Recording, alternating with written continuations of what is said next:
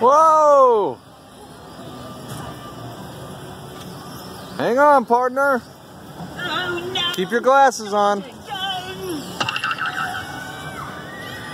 know, that wasn't so bad.